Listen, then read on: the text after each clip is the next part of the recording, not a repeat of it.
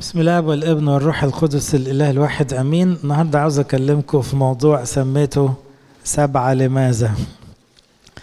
مع عيد الميلاد دايما في تساؤلات مشهورة.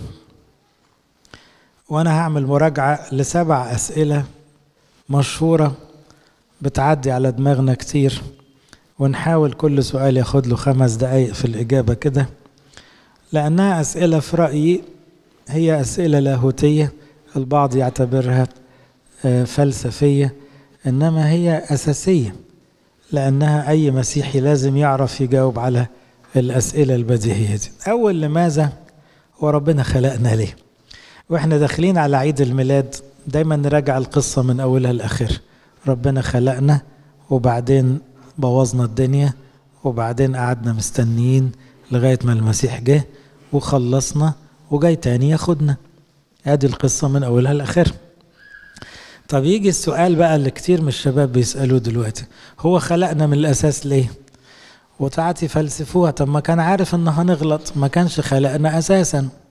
هو الحقيقة لو ما كانش خلقك ما كنتش أساسا سألت السؤال ولا سطعتنا ولا كان يبقى في موضوع أساسا. لكن هو لما خلقك بقى في سؤال. بصوا إجابة هذا السؤال المهم. وفي نفس الوقت بسيط جدا تنبع من الحقيقة العظمى في المسيحية الله محبة. أي إجابة تخرج بين الله محبة يبقى أنت إجابتك ناقص يعني برضو خلي بالكم في اللاهوت المسيحي الأرثوذكسي أي إجابة لأي سؤال يبدأ بليه لازم يكون مرتبط بالله محبة. تاني. أي سؤال يبدأ بليه؟ في الفكر المسيحي لازم تبدأ الإجابة بالله محب بمعنى لأن ربنا كله حب يبقى منطقي إنه يوجد إنسان يتمتع بالحب. أنت كأب يوم ما جبت عيل صغير جبته ليه؟ ما تقوليش الإجابات الفرعونية بتاعت عشان يورثني ويخلد اسمي وكلام غريب كده. انت أساسا كنت فرحان بالعيل اللي شلته عشان بتحبه. انما ما خدتش منه غير الكافية بعد كده. لكن انت كنت بتحبه. يبقى أساسا إحنا نفسنا بنجيب عيالنا عشان إحنا جوانا حب. لو فكرت فيها هي أساسا عملية الخلف دي مرتبطة بأن جواك حب بيطلع في عيالك. ببساطة. فربنا خلق الإنسان لأن الله محبه طب محبة ما بتطلعش عيال. طب ما تبقى معناها إيه دي؟ يبقى في حاجة مش مفهوم. يعني بيحب نفسه بس تبقى مش طبيعي. لكن الله محبة يبقى خلقنا نتمتع بالحب. فلو قلت الإجابة ربنا خلقني أتمتع بيه صح. ربنا خلقني عشان بيحبني قبل ما يخلقني صح. ربنا خلقني عشان أعيش معاه للأبد في حب صح. يبقى إياك تجاوب إجابة تطلع أن ربنا مستفيد من خلقتك. لا مؤاخذة يعني. ما بلبخش ولا حاجة. بس أنا أقصد إيه؟ لا هو مش مستفيد هو خسران على طول الخط. لكن الحب ما بيدورش على الفايدة. فالحقيقة إحنا اللي استفدنا مش ربنا اللي استفاد. فهمتوا؟ المعنى اللي يقوله القديس إيرغوريوس لست أنت محتاجا إلى عبوديتي بل أنا المحتاج. انت ما كانش ناقصك حد عشان تخلق. انما أنا اتخلقت عشان أنا اللي اخد أنا اللي اكسب أنا اللي اتمتع. من هنا نفهم الحقيقة الأخرى في المسيحية أن الإنسان خلق ليكون ابن لله. عشان دي مهمة في عيد التجسد. من الأول كده البلان كان إيه؟ إن ربنا يجيب إنسان يخليه ابنه. ربنا ما قصدش بالإنسان يبقى مجرد مخلوق. لا عنده شجر وعنده غنم وعنده حيوانات. إنما الإنسان مخلوق فريد لأنه من الأول عاوزه ابنه. عشان كده خلقه على إيه؟ على صورته ومثال واللي كشف دي إنجيل لوقا وهو بيصعد بالنسب يقول فلان ابن فلان ابن فلان ابن آدم ابن الله. يبقى آدم خلق ليكون ابن الله. كونه باع البنوة وقال مش عاوز أبويا وعمل زي الابن الضال وطفش من الجنة. ماشي بس ده ما لغاش إن موقف الأب من الأول كان عاوز آدم يبقى ابنه. وبيعامله هو وحواء ولاده. اكسرة أسمرة املأ الأرض اورثوا أنتوا أنتوا أصحاب المكان. مش ولاده. اتكلم معاهم بحب بيديهم حرية شديدة جدا. لأنه أب الأب يدي حرية ويدي كل حاجة لأولاده حتى لو جه على نفسه. فدي واضحة. خلقنا ربنا للحياة مش للموت. فلسفيا النهاردة أغلب الإلحاد بيقول لو ربنا موجود يبقى ربنا خلق الإنسان ليموت. لا دي كذبة من الشيطان. الله خلق الإنسان ليحيا. والإنسان اختار الموت لنفسه. إحنا بنقول في القداس أنا اختطفت لي قضية الموت. الموت دخل للعالم بحسب مش بخطة ربنا مش بقصد الله. ربنا لما خلق آدم وحواء خلقهم عشان يعيشوا. كونه عارف بقى ده موضوع تاني لكن هو ربنا ما كانش قاصد إنه يتخلق آدم عشان يموت. لا الموت دخل دخيل بسبب حرية آدم وبسبب حسد الشيطان. وعشان كده ربنا بيتجسد عشان يرجع نفس القصد. المسيح بيجي ليه؟ عشان يرجع الحياة. الموت سيطر على الدنيا. طب المسيح جاي لنا ليه؟ تجسد يتولد ليه؟ عشان يعطي حياة أبدية. يعني ربنا جاي عشان الحياة. الحياة أظهرت. جئت لتكون لكم حياة. أنتم ميتين. فيبقى من البداية إجابة سؤال. ليه ربنا خلقنا ببساطة؟ بيحبنا عملنا ولاده عاوزنا نعيش معاه للأبد. طيب سؤال تاني. ليه المسيح تجسد؟ برضه أنا بقول إجابات بسيطة جدا عشان نراجع وإحنا داخلين على عيد الميلاد فرحة العيد. كلنا حافظين بنقول في اللحن جي أك إي أكسوتي إممون أك إي إي يعني جه أتى أتى وخلصنا. يبقى أتى ليخلصنا. هذا الذي من أجلنا نحن البشر ومن أجل خلاصنا عمل إيه؟ نزل من السماء تجسد. يبقى عندنا في حب الحقيقة نؤمن واضحة صريحة بتقول الإجابة.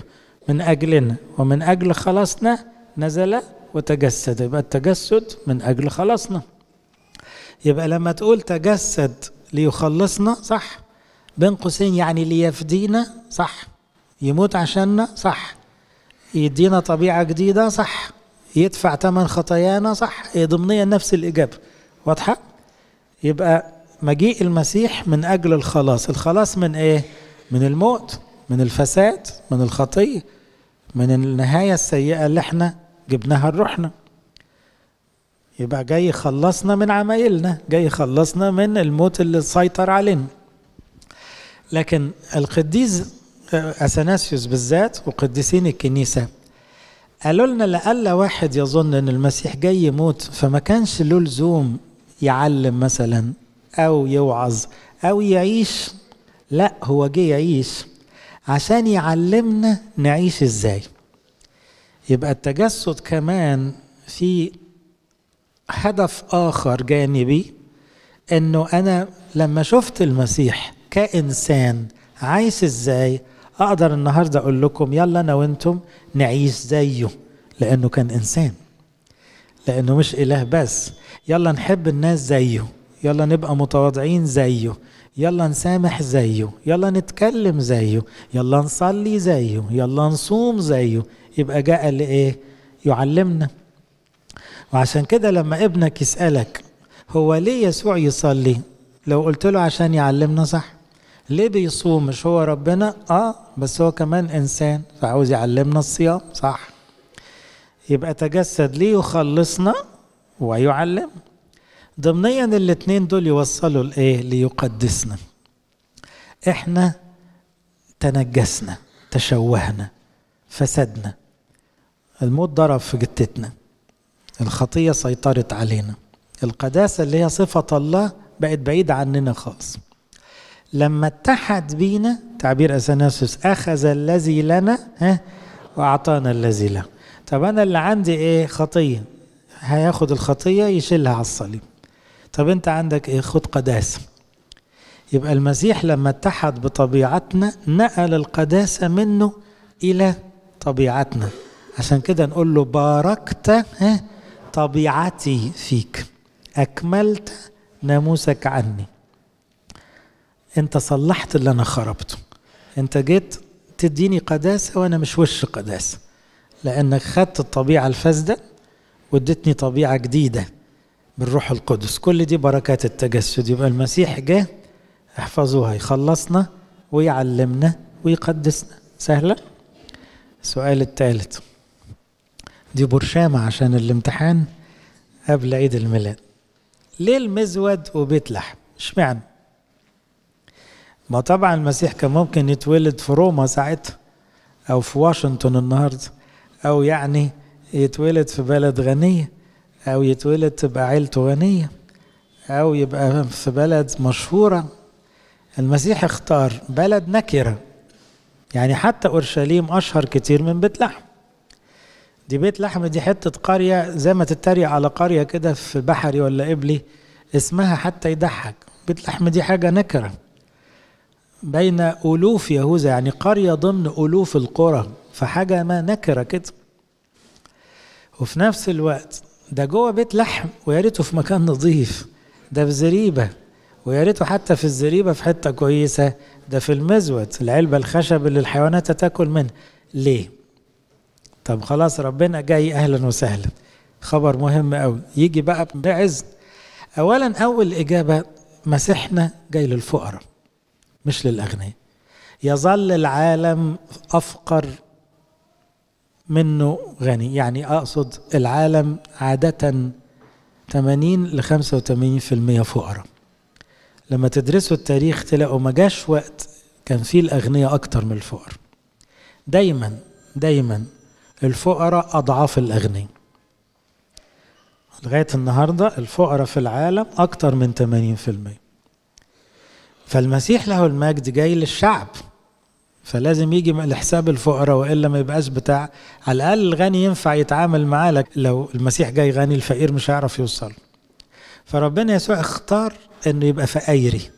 فقيري في اختياراته كلها بقى. من أول العذراء فقيرة بيت لحم بلد فقيرة المزود فقير يبقى هو جاي للفقر. دي دي بقى أول قاعدة. تاني حاجة بيت لحم معناها بيت الخبز. والمسيح له المجد. قصد إنه يشاور على حاجة مهمة قوي إن هو نفسه جاي يبقى إيه؟ يبقى خبز الحياة. فهمتوا الفكرة؟ لدرجة كيرلس الكبير له تعبير دايما أحب أفتكره كل عيد ميلاد. يقول تجسد ابن الله في مزود حتى الذين صاروا حياتهم كالبهائم متى أكلوه يستعيدوا إنسانيتهم المفقود. تاني ما هو لا مؤاخذه البهائم كانت تبص على المزود كانت تأكل من المزود. واخدين بالكم؟ في ناس بالخطية نزلت من مستوى الإنسان لمستوى الحيوان. فاهمين الفكرة؟ فربنا يسوع لما ناكل جسده ودمه نترقى من مستوى ما تحت الإنسان إلى فوق الإنسان. فهو جاي عشان يتاكل عشان لما ناكله نحيا بيه. نحيا بيه يبقى نحيا كقديسين. فهو بيقول المسيح قصد من البداية يجي يقول أنا هتاكل. هتاكل بطريقة بسيطة وساذجة. ففكرة بيت لحم ومزود عشان يقول أنا هو الخبز النازل من السماء. من يأكلني يحيا بي؟ من يأكلني يحيا إلى الأبد؟ من يأكل جسر؟ يثبت فيا وأنا فيه. يبقى الإفخارستية اللي إحنا فيها في العهد الجديد ما كانتش موجودة في العهد القديم طبعا. ليه؟ لأنها لازم تيجي بعد التجسد. المسيح لما تجسد ترك لنا جسد ودم. ناكله ونعيش بيه إلى الأبد كمان ربنا قصد إنه يتمم نبوته بمعنى إيه؟ عشان الناس تتأكد إنه ده ما كانش صدفة. كل حاجة بتحصل في أحداث الميلاد سبقوا الأنبياء وشكلموا عليه مثلا ميخا في خمسة يقول أنت يا بيت لحم لست الصغرى بين ولاة يهوذا. في اشعياء مثلا يقول هل عذراء تحبل وتلد ابنا؟ وهكذا النبوات بتأكد التفاصيل بتاعة الميلاد. أربعة للعذراء بالذات. ممكن واحد يفتي ويقول طب ما يتولد ولادة عادية وخلاص راجل وست وخلاص. أولا رب لازم ربنا يسوع يكون متميز عن كل البشر. قديس أثناسيس في تجسد الكلمة قال هل رأيتم نبيا ولد من عذراء؟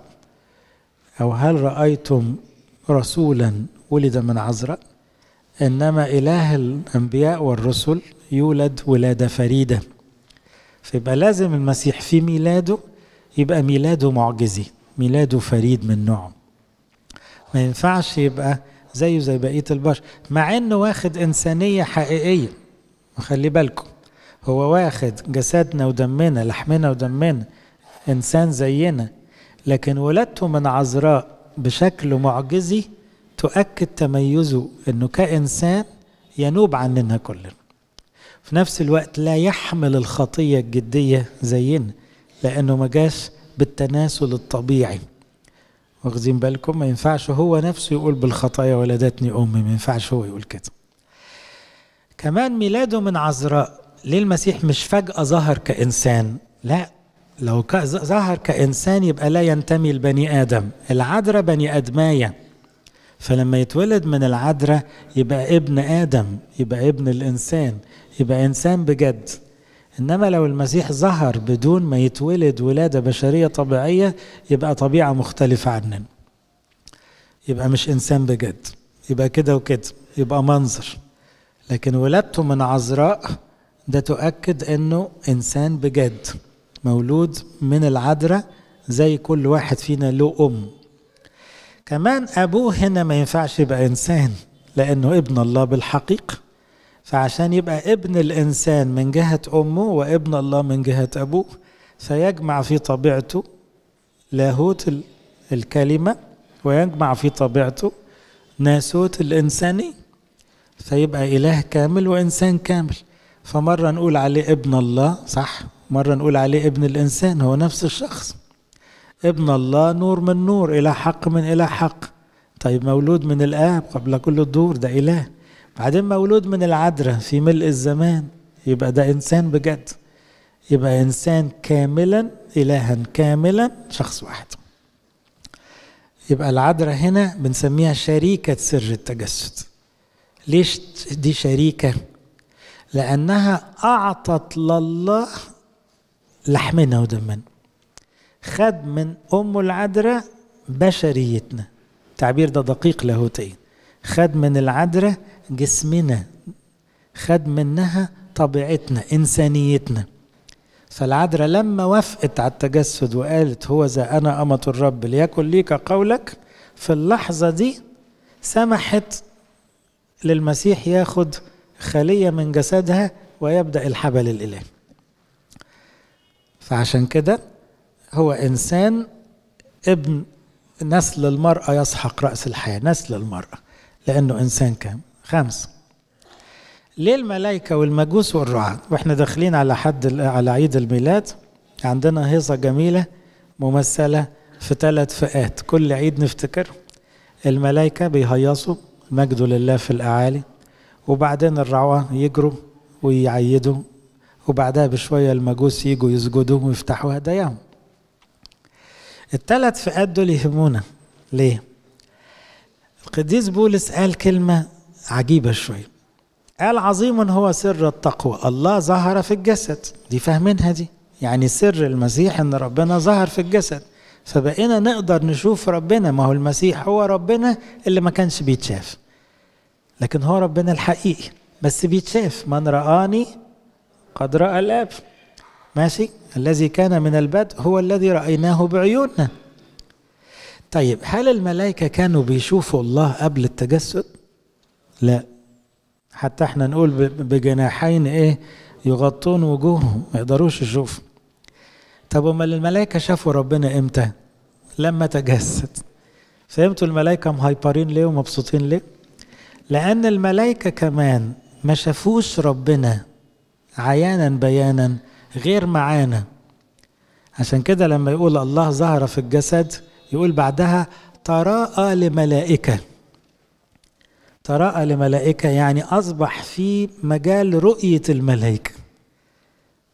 لأن الملائكة شايفينه خلاص زينا زيهم بالتجسد غير المرئي رأوه لكن طبعا هو ما خدش شبههم.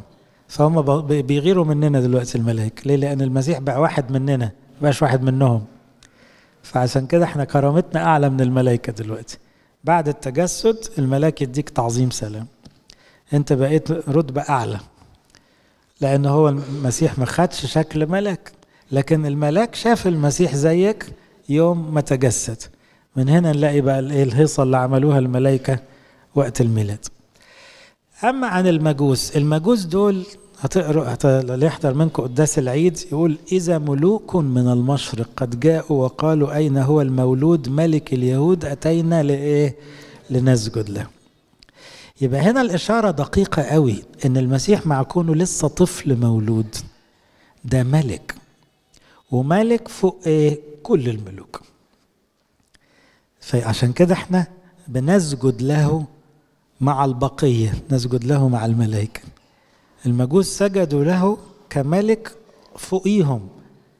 أدركوا بالروح السر أن هذا الطفل مش طفل عادي. ده ملك فوق فوق منهم ودول ملوك أغلى من هيرودس نفس. يعني هيرودس ملك تعبان جنبهم دول ملوك محترمين عنه كتير. وعشان كده ما عبروهوش وهم راجعين. فيبقى ربنا يسوع قصد في اللحظة دي يشاور على طبيعته كملك الملوك ورب الأرباب. ويسجد له من الملائكة والبشر.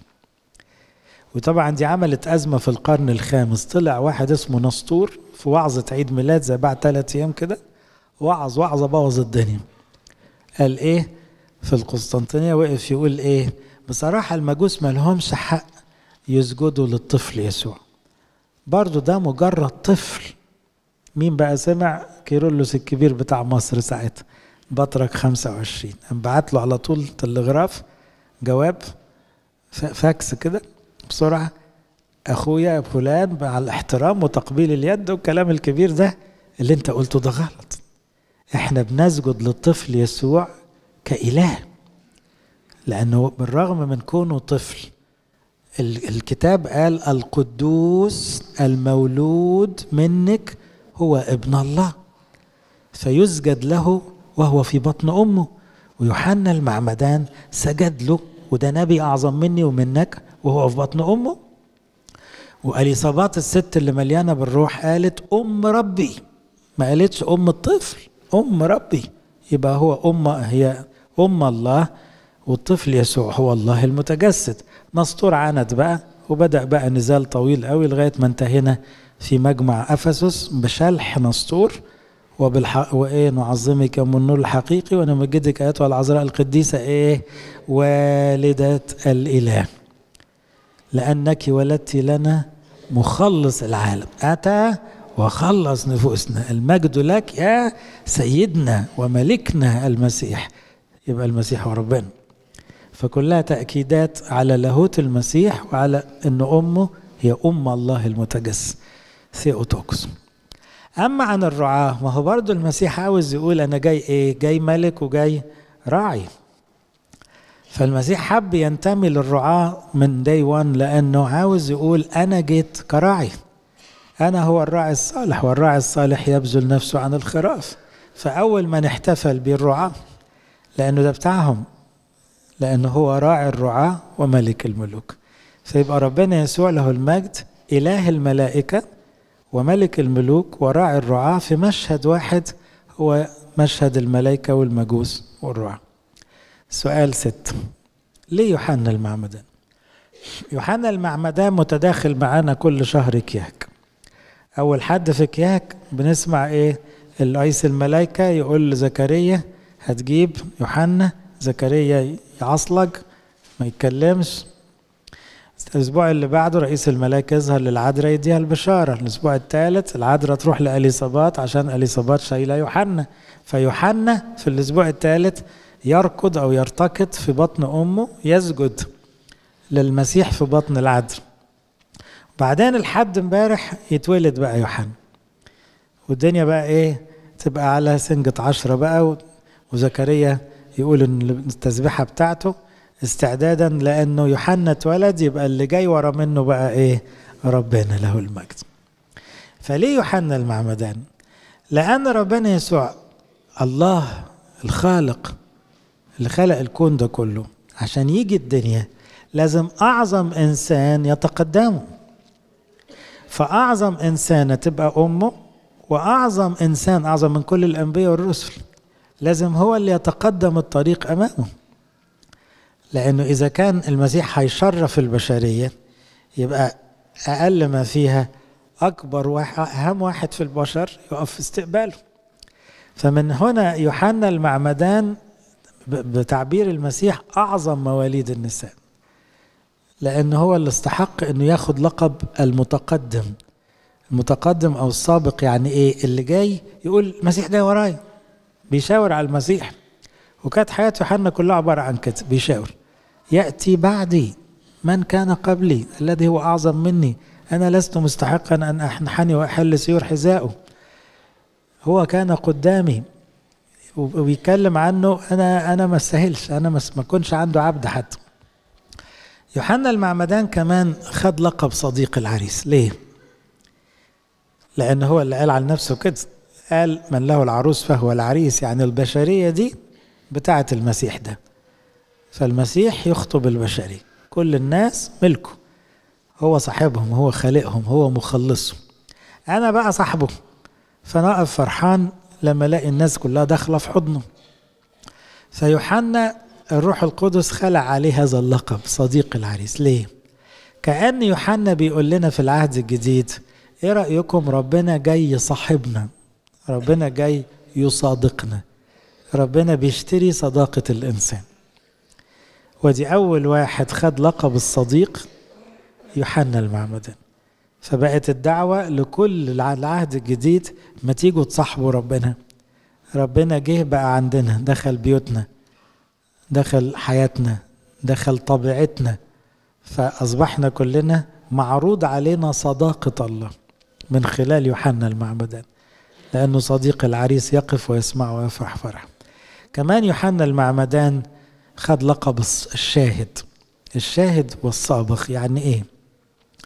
الشاهد لأنه قال أنا قد رأيت وشاهدت. بعد أسبوعين هنسمع اللحن بتاع يوحنا. لحن مشهور في الغطاس. لأنه بيقول أنا شغلتي أنا قد جئت لأشهد. الذي أرسلني قال لي. الذي ترى الروح نازلا ومستقرا عليه هو الذي يعمد بالروح القدس. وأنا قد رأيت وإيه؟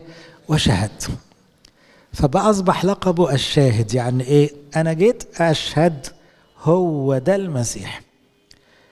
وقال أنا لم أكن لا أنا ما كنتش أعرف لكن اللي بعتني قايل لي إن هتعرفه من الروح القدس اللي يحل عليه وأنا جيت عشان أظهره عشان الناس تعرفه السابق خد بقى فكرة إيه؟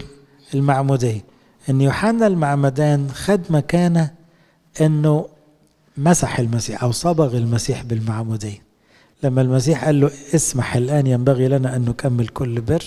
فيوحنا المعمدان زي تعبير واحد من القديسين اليد الذي خلقها المسيح أخذها ووضعها على رأسه. وقال له اسمح الآن. يعني إيه؟ هو مين يوحنا؟ يوحنا ده مخلوق ربنا اللي خلقه. إنما من اتضاع المسيح خد إيده وقال له حط إيدك على رأسي. أنا إيه؟ أقبل هذا. إن أنا كإنسان لازم أتعمد.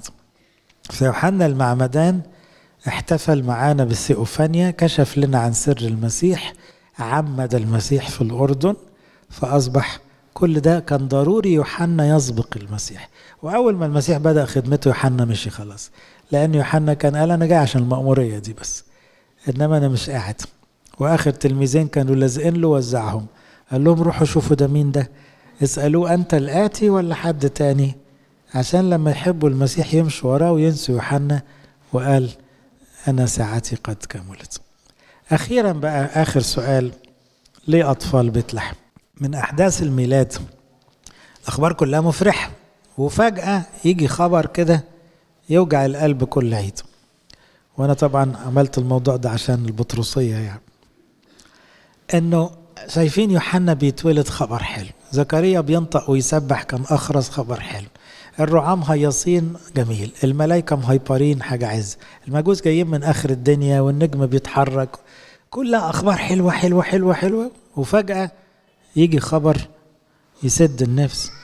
أطفال أبرياء بالمئات بيستشهدوا. وبدون أي ذنب على يد واحد مفتري. طب ليه؟ ليه؟ طب ما كان ربنا ممكن يمنع كان ممكن يمنع الإرهاب إنه يدخل الكنيسة يعني شغلة وكان ممكن يمنع هيرودس إنه يفتري على العيال. طب ما هيرودس بعدها بشوية مات موتة وحشة طب ما كان يموت بدري عن كده وخلصنا وكانوا العيال تعيش. فدايما مع الأسئلة الحلوة كلها يجي سؤال كده إيه من النوع اللي بيوجع القلب. ليه؟ ليه وسط العطايا دي كلها المسيح جاي يخلصنا يوحنا جاي يشهد له؟ الملائكة جاية شايفاه وبتسجد له. الملوك بيكشفوا عن ملكه الرعاة بيكشفوا عن هويته كراعي. بيت لحم اتشرفت كل الفقراء بقوا فرحانين. المسيح فقير زيهم واحد منهم. وبعدين يجي الخبر ده. ليه وسط الأفراح دايما في أحزان؟ ليه وسط النعم الإلهية المجانية تيجي تجارب وضيقات بدون مقدمات. ربنا عاوز يثبت مفهوم مهم إن الموت هو طريق للحياة. الموت طريق للحياة. المسيح جاي وهو شايف صليبه من الأول من أجل هذه الساعة قد أتيت. إحنا طبعا محبب علينا المسيح يقعد ويملك وخلاص. قال لا لا مملكتي ما تجيش كده. أنا هملك على خشبة. وكل اللي عاوزين يملكوا معايا لازم يموتوا معايا. فربنا يسوع جاي من الأول يعلن برنامجه. اللي هيمشي معايا اللي هيلزق فيا اللي هيحبني اللي هيبقى تبعي هيموت في الدنيا دي. ملوش مكان في الدنيا دي. هيعيش شهيد أو هيعيش بنفسية شهيد. هيعيش مستعد للموت لأنه ملناش في الدنيا دي نصيب. فهنا فلسفة إن يبقى في أطفال أبرياء بيموتوا ضحايا ده عشان ربنا يورينا قد إيه الدنيا وحشة وقد إيه السما حلو وإنه دي طبيعة الطريق كده طريق للسما في وجع في عياط في بكاء في نوح في عويل في صليب في دم لكن ده طريق السما. ويبقوا أول أطفى أطفها المسيح كده وهو بيتولد هم أطفال بيت لحم. أول أطفال للبشرية في العهد الجديد. كمان أطفال بيت لحم بيعلنوا المفهوم الكتابي إن إحنا كلنا كمسيحيين بنموت معاه وبنموت عشانه. إحنا يوم ما تعمدنا حصل إيه؟ دفنا معه في المعمودية يوم ما بنتناول بنقول إيه؟ أعترف إلى النفس الأخير. يعني مستعدين نموت عشان. فإحنا عايشين من أجلك نمات كل النهار. اللي عاوز يمشي ورايا يشيل صليبه كل يوم يعني يبقى مستعد للموت. فأطفال بيت لحم بيشاوروا لنا على الصليب بيقولوا لنا دي دي السك ده طريق السماء ده طريق القيامة. ما تتخضوش ما تنزعجوش. هنا زمان البكاء هناك زمان الفرح. هنا نتوجع شوية هناك ما فيش وجع خالص. هنا إحنا بنقول ملناش في الدنيا الشاطر اللي يمشي بدري. أخيرا أقول إن الأطفال دول بيشاوروا على حاجتين مهمين قوي في المسيحية إن الشاطر اللي يبقى طفل والشاطر اللي يبقى شهيد. فيبقوا أشطر ناس هم الأطفال الشهداء. إن لم ترجعوا وتصيروا مثل الأطفال مش هتدخلوا السما ومين أشطر مسيحي؟ هو اللي بيموت من أجل المسيح. فهم من غير ما يفهموا قدموا الصورة المثالية عن الطفل الشهيد. البراءة كلها وكمان باعوا حياته أو يعني أخذت منهم حياته فيبقى كل واحد فينا باصص لأطفال بيت لحم بيقول لهم من قلبه يا بختكم. زي ما إحنا كلنا قلنا للشهداء البطرسية يا بختكم. يا بختكم لأن أنتوا وأنتوا بتحبوا ربنا قبل أجسادكم ذبيحة. خد حياتكم منكم ذبيحة. استحقيتوا لقب الاستشهاد. وساعات يطلع السؤال أخطيت. ما تزعلوش السخيف. هم دول يعتبروا شهداء ولا لا؟ طبعا شهداء. طبعا شهداء. لأنه إن كنا أطفال بيت لحم اللي ما حدش خد رأيهم بقوا شهداء وليهم عيد سنوي عندنا يبقى دول شهداء برضه مش لازم نسأل الشخص. إذا كان مات من أجل المسيح يبقى بدون سؤال هو شهيد وواخد مكانة عظيمة في السماء. يبقى ليه أطفال بيت لحم؟ زي أي سؤال ليه ربنا بيسمح بالوجع. لأن الوجع طريق الأبدية لأن مفيش قيامة من غير صليب لأن الباب ضيق هو اللي بيدخل على السماء فيبقى أنت مستغرب إن يكون في أطفال بيت لحم وفي كل جيل في شهداء زي بيت لحم بيشاوروا على السكة وبيراجعوا معانا المفهوم أنه ليست لنا ها هنا مدينة باقية ولكننا نطلب العتيدة لإلهنا كل مجد وكرم.